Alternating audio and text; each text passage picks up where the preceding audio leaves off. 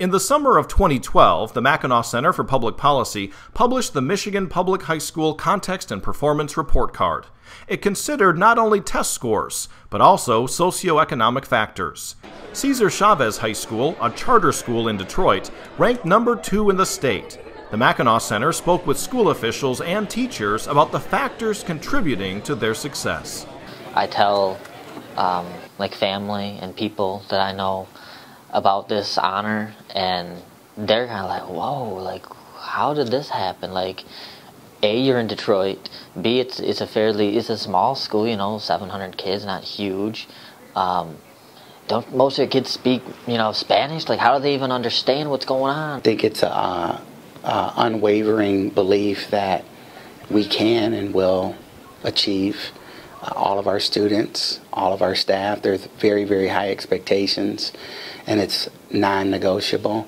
Mr. Martinez has given me a lot of free rein to um, build the program the way I think it needs to be built to be successful. Before my arrival here, we'd seen three consecutive years of declines on ACT and MME performance.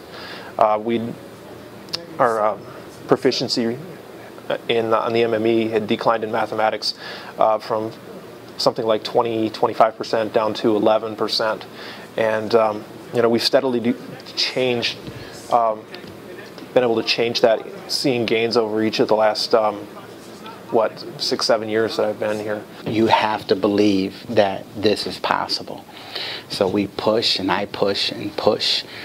And, um, nothing feels like success. And so we reach one plateau and we're going to another one because we're not going to stop pushing in those um, sentiments are sentiments that the teachers here uh, have heard from me uh, over the years.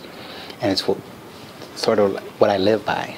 The flexibility that they have, the openness to experiment with this or experiment with that, go out into the parking lot. I did a, a physics uh, um, lab just on our ramp outside.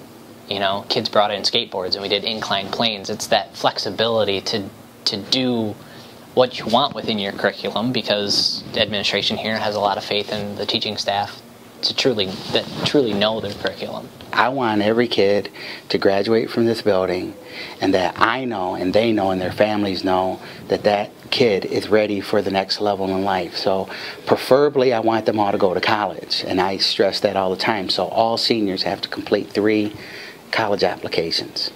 And because we want them to have three choices there. We move without bells here.